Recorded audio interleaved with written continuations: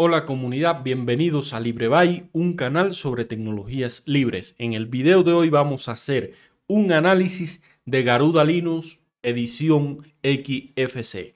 En días anteriores hemos hecho, hemos hecho un análisis de las ediciones KDE Dragonize y Genome, también Cinnamon. Bueno, en el día de hoy vamos a hacer un análisis de la edición XFC. Decir que Garuda Linux es una distribución basada en Ars, Ars Linux, por lo tanto muchas de las características eh, propias de Ars, Ars Linux también aplican a Garuda Linux. Y que en este caso tiene un enfoque, esta distribución tiene un enfoque para los juegos y multimedia. Antes de comenzar, decir que todos los videos que hacemos están disponibles en la plataforma Library. En la descripción del video dejamos el enlace a esta plataforma. Yo voy, estoy usando, estoy usando un CD vivo, estoy usando un CD vivo en una máquina virtual. Eso me da la posibilidad probar esta edición de Garuda Linux sin necesidad de modificar mi sistema operativo base, que en este caso es un Ubuntu. Una vez que iniciamos desde el CD vivo, nos muestra esta pantalla de bienvenida en el cual podemos seleccionar varias opciones. Varias opciones, como pueden ver. También tenemos la opción de instalar Garuda Linux a nuestro disco duro. En este caso yo voy a decir, voy a cerrar esta pantalla y eh, vamos a comenzar como tal con el análisis de esta edición, el cual tiene una interfaz o una apariencia visual bastante atractiva. Me gusta mucho el color que tiene eh, de forma general este escritorio, que es un escritorio ligero XFCE y con un diseño tradicional, con un panel inferior, también mm, en muchas ocasiones hay distribuciones que el panel lo ponen en la barra superior, en la parte superior, pero en este caso viene con un panel inferior donde el primer elemento es el menú, luego tenemos atajos a aplicaciones más comunes, en este caso el navegador web Firefox, el administrador de fichero Tuner y el, la terminal o el emulador de terminal XFCE Terminal. Luego viene un separador, la barra de tareas, los espacios de trabajos que permiten agrupar sus aplicaciones en dependencia de un perfil determinado.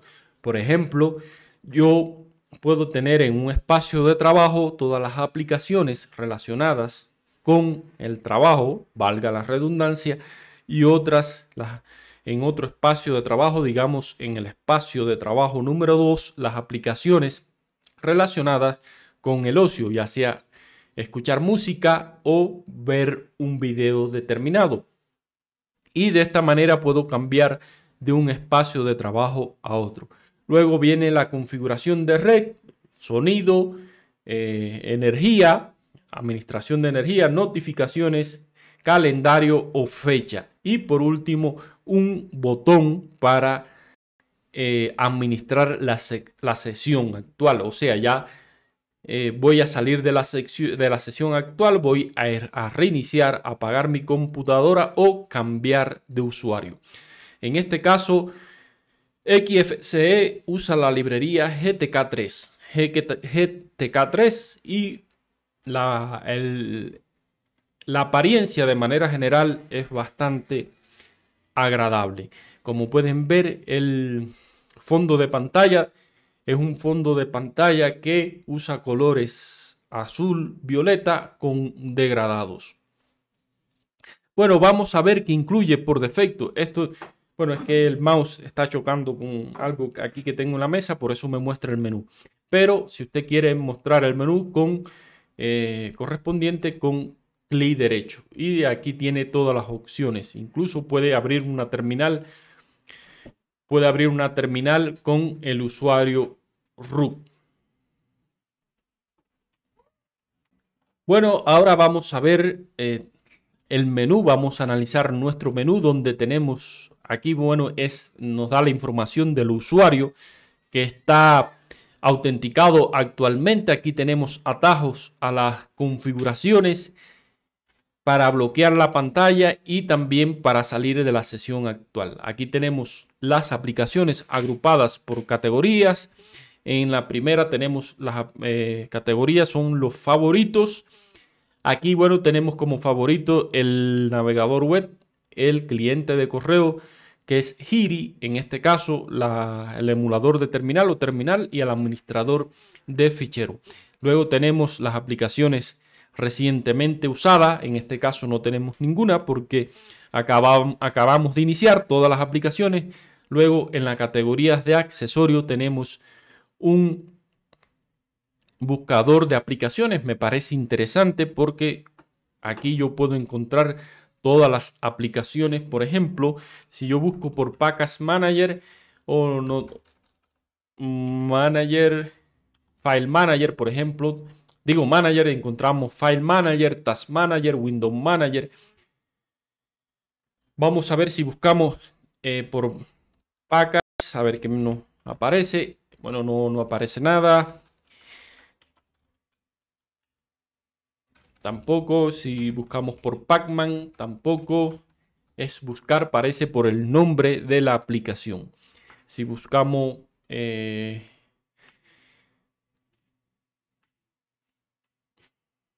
Bueno, quería buscar realmente a ver si teníamos un administrador de paquetes eh, visual que nos permitiera instalar, desinstalar paquetes, aunque en la pantalla de bienvenida sí vi que daba acceso a un, a un administrador de paquetes, pero no lo abrí. Entonces luego vamos a ver si está aquí dentro de las aplicaciones. Por lo menos aquí en el Application Finder no lo encontramos así de manera directa. Aquí tenemos Pace, Pase, pero o Pace, pero es un frontend para Pacman, pero no me permite administrar los paquetes como tal, sino es la configuración de los repositorios. Bueno, salimos de aquí, vamos a seguir con el menú. Tenemos en los accesorios el Application Finder, el Bull Rename. El Bull Rename es una aplicación para renombrar ficheros en masa. Hace mucho tiempo usaba XFC eh, y la usé. Funciona bastante bien.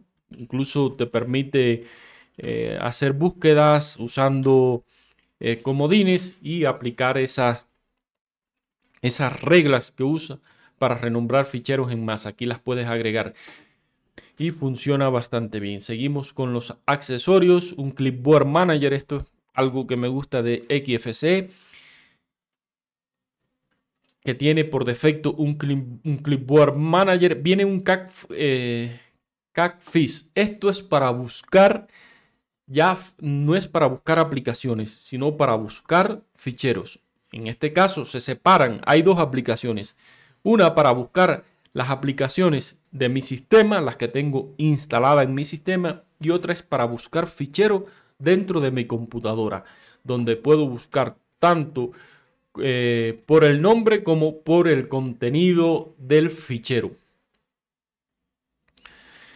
Bueno, seguimos aquí con las preferencias, digo con los accesorios, luego tenemos una calculadora, por aquí tenemos una herramienta que es para calcular los, hacer un checksum, un editor de menú, un editor de texto eh, consola que se llama Micro, que tiene una interfaz, digamos, no es una interfaz, sino que es muy intuitivo ya que usa las teclas comunes como por ejemplo para salvar es control S, para salir control Q.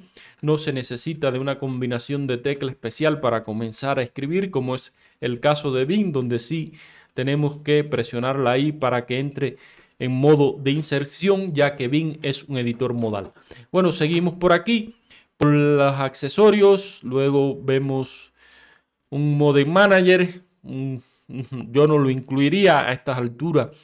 No creo que los modems sean muy comunes. Por lo general ya son redes domésticas donde viene un, router. Eso me estoy refiriendo, por supuesto, a si va a usar eh, su sistema operativo en la casa se conecta a su wifi de la red doméstica y no tiene nada que hacer, eh, no tiene que configurar nada porque automáticamente se conecta a la wifi. Tenemos el mousepad, que es el editor gráfico por defecto en XFCE.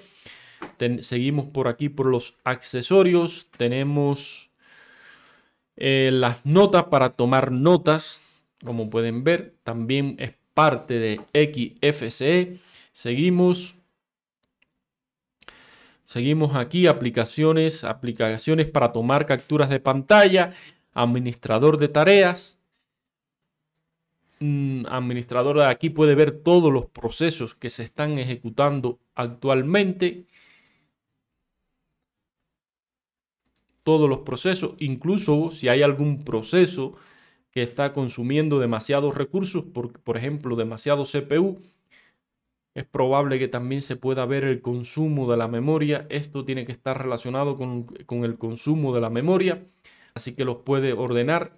El que más memoria esté.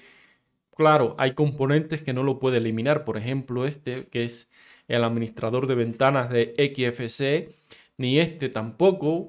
Porque em, si no va a cerrar la sesión o va a a provocar un, provocar un mal funcionamiento de su sistema operativo. Por aquí puede buscar los procesos que se están ejecutando. También puedo buscar los que están consumiendo más CPU. Y en este caso, si mm, ve que la aplicación que está consumiendo mucho CPU no es una aplicación esencial, le puede decir stop o kill también o terminate. Incluso le puede cambiar la, la prioridad a una aplicación determinada para que el sistema operativo le dé mayor prioridad a esta aplicación y esto se refiere a que le asigna eh, mayor cantidad de recursos a esa aplicación. Bueno, seguimos aquí por accesorios. Nos quedamos en el administrador de tareas. Aquí tenemos el administrador de archivos que se llama Tuner, Tuner que es un administrador de archivos. Lo vamos a abrir ahora, ahora vamos a terminar aquí de analizar para abrirlo y ver. Tenemos también un administrador de, eh, aunque tiene, aquí se llama File Manager y Archive Manager. Archive viene de, puede ser, puede tender a confusión cuál de los dos usar, pero como el icono muestra, este está relacionado con los compactados. Tenemos el editor Bing, además lo incluye por defecto, y un quemador de CD que se llama XF Burn, que forma parte de la suite de, o del escritorio XFC. Vamos a ver este administrador de archivo porque me gusta. No sé por qué está. Eh, no está always on top pero me aparece, así que lo voy a cerrar. Bueno, este es Tuner, un administrador de archivo, como pueden ver también aquí, como les dije, esta es la barra de tarea donde se eh, donde están todas las aplicaciones que se están ejecutando en este momento. Y Tuner es un administrador de archivo con una interfaz sumamente clara, atractiva, pero además muy eh, intuitiva. Como pueden ver, soporta tags e incluso puedo ver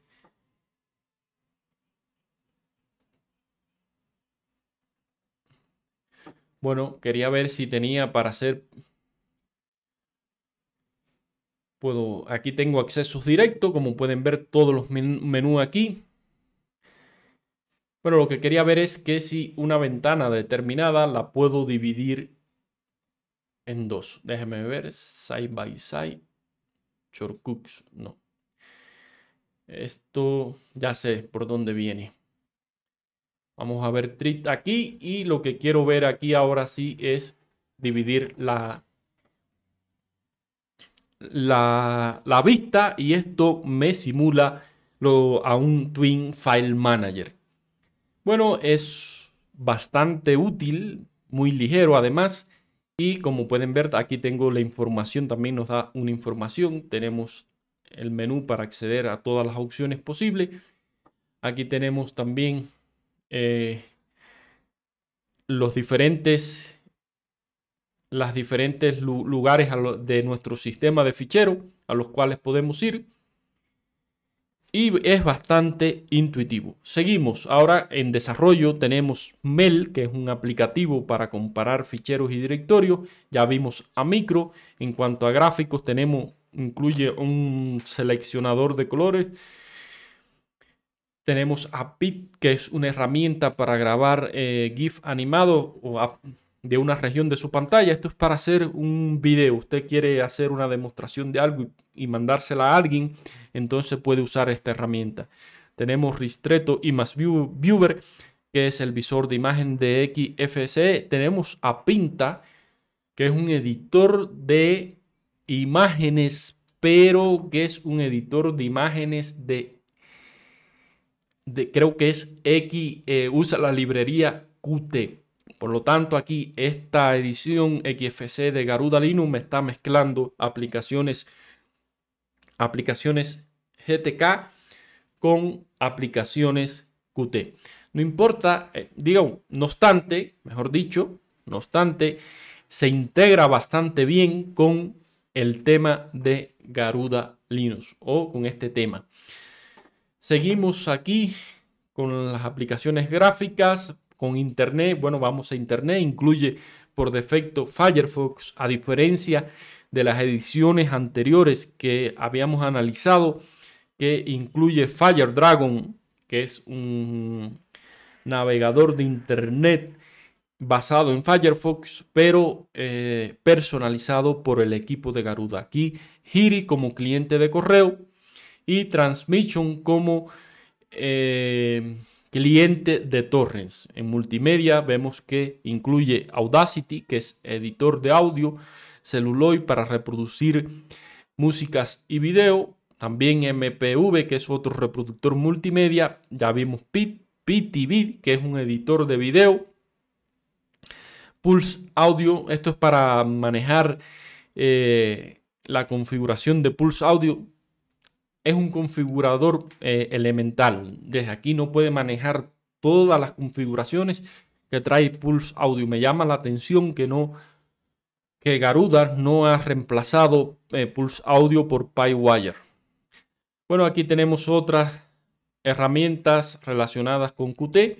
En cuanto a oficina, incluye a AviWord, que es un editor de documentos eh, mucho más ligero que LibreOffice Writer, que es muy básico, pero eh, digamos que cumple su función, que es la de un editor de texto. En este caso no es un editor de texto, es un editor de lo que se llama eh, un Word Editor. Es similar a, Microsoft Word y a LibreOffice Writer. Diccionario, un, un visor de PDF que también está basado en la librería Qt. Me parece que hay opciones Mm, para incluir un visor de PDF basado en GTK, pero bueno, digamos que los desarrolladores de esta edición de Garuda Linux prefirieron usar eh, QPDF View. Aquí, desde aquí podemos acceder a todas las configuraciones del sistema y personalizar nuestro escritorio. En este caso, yo solo voy a buscar lo que es la apariencia. De aquí puede cambiar, como puede ver, es Adawaita Dar, es el tema oscuro de, de Adawaita, que luce bastante bien. Aquí el, el tema de los iconos, las tipografías y otras configuraciones. Además, esta no es la única herramienta para cambiar lo que es la apariencia de su escritorio. Hay otras herramientas, no las voy a ver, eh, no las voy a analizar aquí, sino que aquí las tiene disponible las puede explorar. Como, por último tenemos las herramientas del sistema Garuda Linux usa BTR File System por defecto, que es un sistema de ficheros modernos, moderno, que tiene eh, muchas características modernas y que es ideal para usarlo en eh, escritorio, no tanto así en servidores. De hecho, Fedora usa BTR File System por defecto.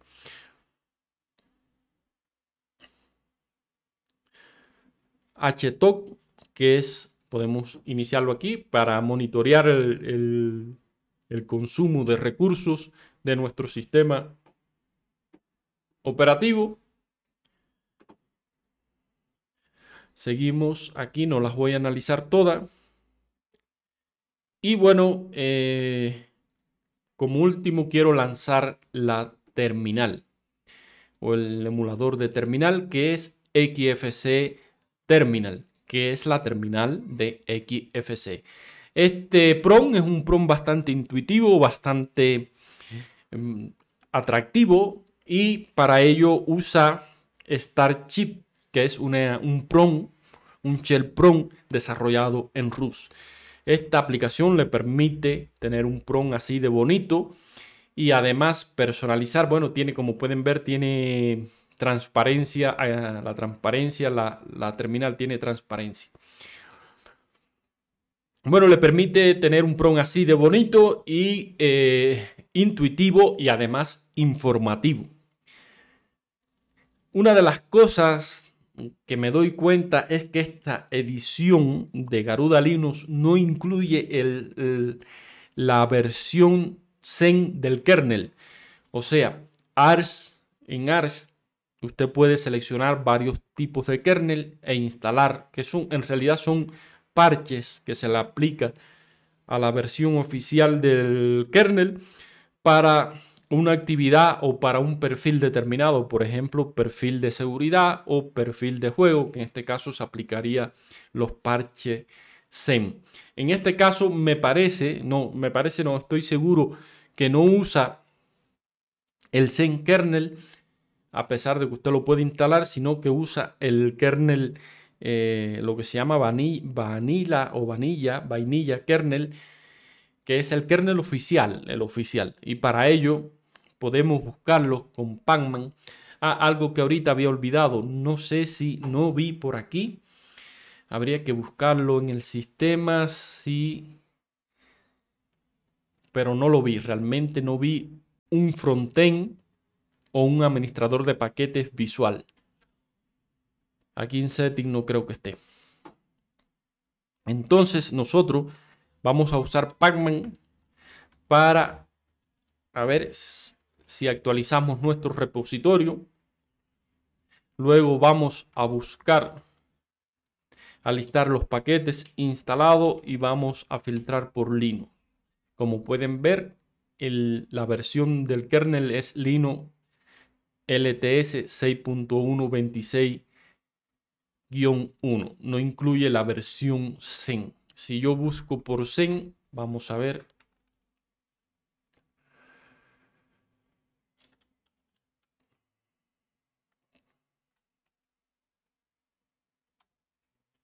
Creo que así buscamos. Como pueden ver, está disponible en los repositorios, pero no está instalado. Bueno, comunidad, esto es todo lo que quería mostrarle por el día de hoy, así que vamos terminando. Yo les voy a ir cerrando todas las aplicaciones que hemos abierto.